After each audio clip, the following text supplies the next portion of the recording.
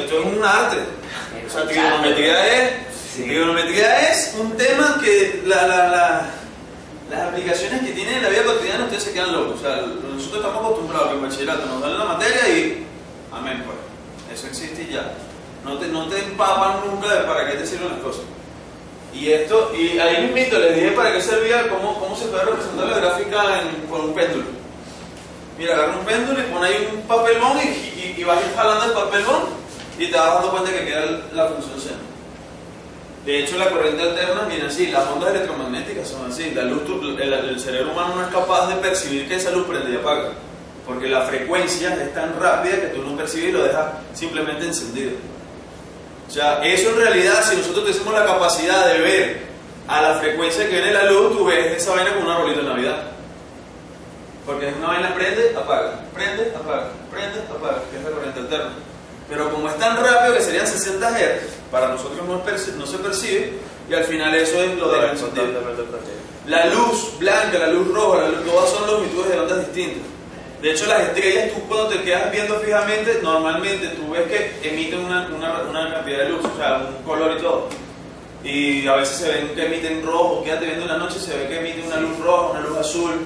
Eso también se le llama el efecto Doppler, que también lo conectan con lo que es la distancia de las estrellas por eso es que lo miden.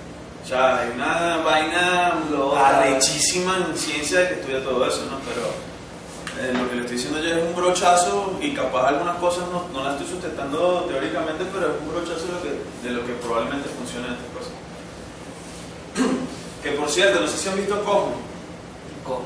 Esa serie Cosmos, tú al ver la estrella, tú, proba- tú estás viendo el pasado. Ellos le llaman ahí que tú estás viendo el pasado.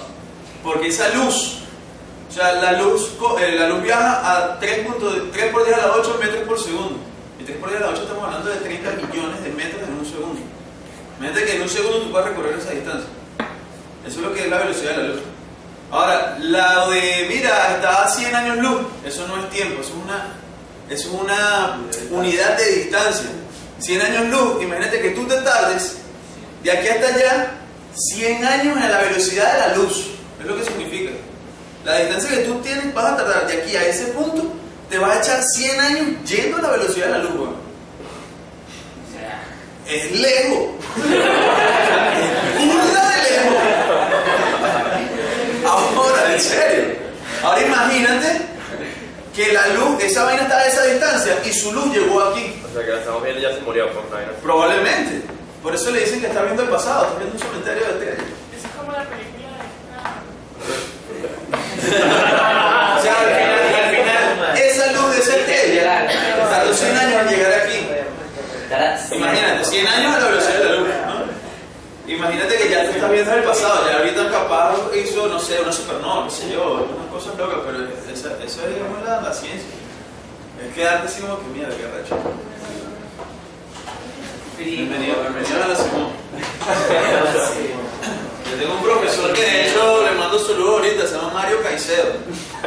Ese carajo en física te da clases y te hace, ser- te, de vaina te hace cambiarte de carrera. Que estudia cuestión de ingeniería, yo estudio física. El bicho es una pala y te, te explica la vaina y tú te quedas como que. o sea, literal, que he hecho con mi vida, ¿no? ¿Cómo se llama? Mario Caicedo. No, qué chino. Hay otro profesor también buenísimo en física que se llama Enrique Castro, del que me dieron a mi clase, que, es, es un- que te hacen amar la materia. Es una vaina impresionante. Y es lo que yo les digo ahorita, y escúchenme de pan, o sea, yo les voy a poner un ejemplo. Hay una persona ahorita que estudió tres días, una materia que en este caso es termodinámica y sacó 20 de 20. Tres días. Y otra persona que es pana de ella se trasnochó como una semana y sacó 15 de 20. Pasó. Pero tú dices, sí, salió bien. Pero tú dices, ¿por, por qué?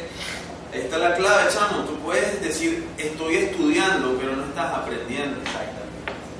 Estoy estudiando, pero eres, una, eres un robot porque estás haciendo todo mecánico y no hay aprendizaje.